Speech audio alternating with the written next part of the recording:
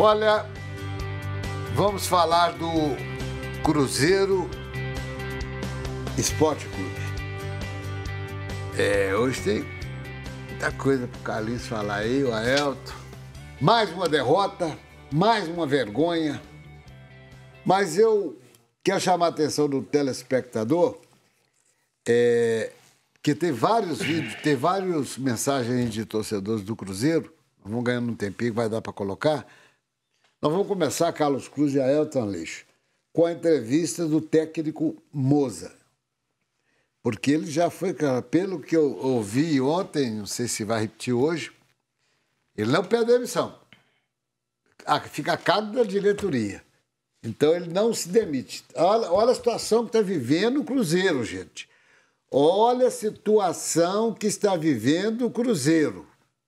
Coloca o técnico cruzeirense aí para falar?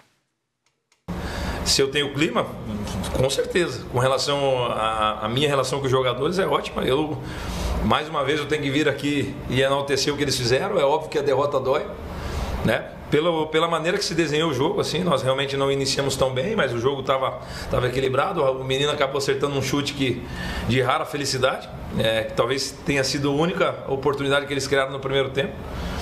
É, eu, eu jamais vou abaixar a guarda. Esses jogadores eu tenho certeza que jamais vão abaixar a guarda. É, aí, a, a, se eu vou permanecer, não vou permanecer, fica a cargo da, da diretoria. Eu entendo, eu entendo a pressão externa, entendo a pressão da torcida, enfim, entendo, entendo tudo. Então, se a diretoria achar por, por bem é, existir uma mudança, eu vou achar bem natural, é, justamente pela essa questão do, dos resultados. Mas eu, eu acredito que nós podemos reverter. Hoje nós demonstramos que nós podemos reverter. É, o jogo, o 11 contra 11, principalmente o segundo tempo, ele estava se desenhando para nós empatarmos. Aí, infelizmente, acabamos, acabamos perdendo um jogador. E mesmo com a menos, nós criamos uma, uma situação ou outra. Óbvio que nenhuma clara como nós tínhamos criado no 11 contra 11, mas nós continuamos tentando ainda e não concedendo tanto ao adversário, tirando a defesa importante do Fábio. Enfim, resumindo o jogo, na minha opinião, nós não merecíamos essa, vitória, essa derrota. Olha, tá aí a palavra do, do treinador, jogou a bomba todinha no, no colo do Sérgio Santos Rodrigues. Mas antes, eu tenho que falar de coisa boa, porque amanhã a minha querida Urucânia completa 58 anos de emancipação política administrativa. E estará conosco aqui Amanhã, o prefeito Zé Márcio, que vem fazendo uma administração espetacular em Urucânia. Então, amanhã é dia de. e aniversário também de, de morte de Padre Antônio Ribeiro Pinto, que tantos milagres fez através de Nossa Senhora das Graças. Então, amanhã, 58 anos de Urucânia. Eita ferro! De emancipa... é emancipação política. Amanhã, 22 de julho. Julho. julho. Certo? E uma outra boa notícia.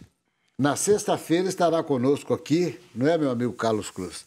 O Ceará, lateral direito, que jogou muita bola. Esse cara jogou bola demais. Inclusive, até no Cruzeiro, quando ele já estava com 33 anos, parece, foi um dos melhores que passou no Cruzeiro.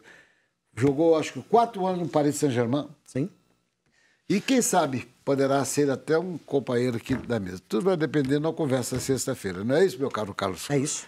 Você ouviu ali a. Quer falar alguma coisa sobre o Ceará? Sim, é um companheiro, como você bem descreveu, grande, foi um grande jogador, né? E, e, é uma pessoa bem esclarecida, se expressa bem. Prosa boa. Muito, né? Entende futebol como nunca. E se chegar, né? A gente faça né? nós estamos trabalhando para isso, será bem-vindo. Não tem dúvida. Tem, vocês têm que analisar rapidamente aí o que falou aí o goleiro, do, o treinador do Cruzeiro, para nós botar áudio para rodar. E aí? Bom, o que ele deixou claro é que ele confia ainda no trabalho dele, acha que ele vai conseguir reverter, né? E que ele não vai, abre aspas, baixar a guarda, ou seja, ele não vai entregar o cargo. Se o presidente entender, se o Cruzeiro entender, né, que ele tem que sair, ele diz, abre aspas, eu compreendo.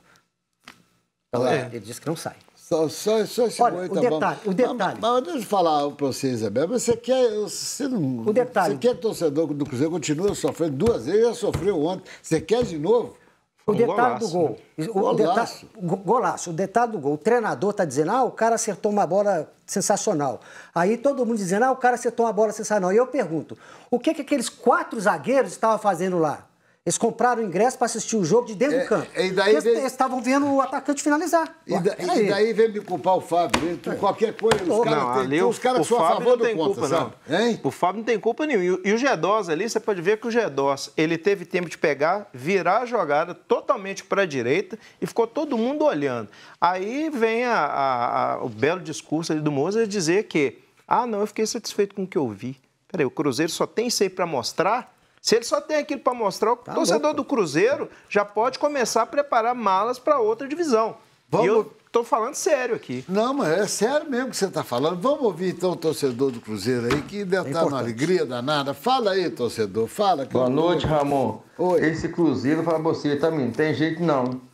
Tomou um gol, não, nem reagiu para nada. Tá doido, hein? Tem, que tirar os presidentes de lá, os presidentes tá por fora, os presidente. Boa noite para vocês e Boa noite, amigos do Horizonte Esporte. A solução para o Cruzeiro é colocar o Sub-17, que é a única solução, porque o Sub-20 não ganha nada. E esses, e esses turma de velho aí também não vale nada, não. Põe o Sub-17, tá bom. Obrigado, Heleno Dom Silvério. Boa noite, amigos do Horizonte Esportes. É, Carlos Cruz. Goleiro Everson deu uma sorte ontem. Silvar valida que gol. Mas, Ramon, você ainda acredita que o Cruzeiro vai classificar entre os quatro? É, que situação, hein? Por mim que pior. Abraço, boa noite.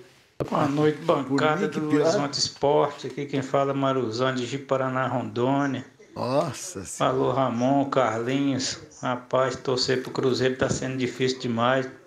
Pior crise do futebol cruzeirense. Toda a história que eu conheci. O negócio tá feio. Tem que mandar esse presidente embora para ver se melhora esse time. Boa noite, bancada do Horizonte Esporte. Aqui quem fala é Maruzão de. Opa! Boa noite, Horizonte Esportes. Joel Avelino, Industrial Contagem. É, Ramon. O bicho acabou de chegar no Cruzeiro novamente. Acabou. Tem que mandar esse jogador tudo embora, diretor embora, conselheiros embora. O time acabou. FC. Nem a SA salva o Cruzeiro, Ramon. 500 mil. É uma safadeza. Pelo amor de Deus, Ramon. Olá, boa noite, Ramon. Boa noite, Carlos Cruz. Boa noite. A solução para mim, para o Cruzeiro, seria a saída desse Rafael Sobes, do Fábio, dessa diretoria incompetente. Para mim, o Cruzeiro poderia fechar até as portas. Para mim, nem fazer diferença nenhuma. Estou cansado cansado de torcer pro Cruzeiro. Esse ano não mexo, não assisto o jogo do Cruzeiro mais. Cruzeiro para mim a solução seria, seria acabar, fechar as portas. Um abraço, Osmar do bairro Nova Granada. E Matheus Barbosa para mim já vai tarde. Boa noite, bancada. Júlio Maia do Barro Preto. Não é tão complicado assim, é só não inventar. É o mínimo que esses treinadores que estão vindo aí podiam fazer põe o Rafael Sobes no lugar que ele joga, Marcelo Moreno no lugar que ele joga, o Marcinho no meio de campo no lugar que ele joga, na, na, na traseira ali pode ficar o Nonoca e o Adriano como cão de guarda. Já resolvi o problema da defesa. E o Bruno José, ou um jogador de velocidade para cruzar a bola. Ah, doido, senhor. Ajuda. Boa noite, Horizonte Esportes. Fala, meus, põe meu áudio para passar aí, gente. Tô sempre passando áudio, vocês vêm aí, não coloca aí. Boa noite, Carlinhos, Ramon, Aelso. Ei, Ramon, que dor de cotovelo, hein? Você, Aelso. Aqui. Tem dado sorte. Agora, jogado mal é o seu Cruzeiro, hein, Ramon? Ali agora é só abrir falência e começar tudo de novo. A única salvação. Boa noite para vocês.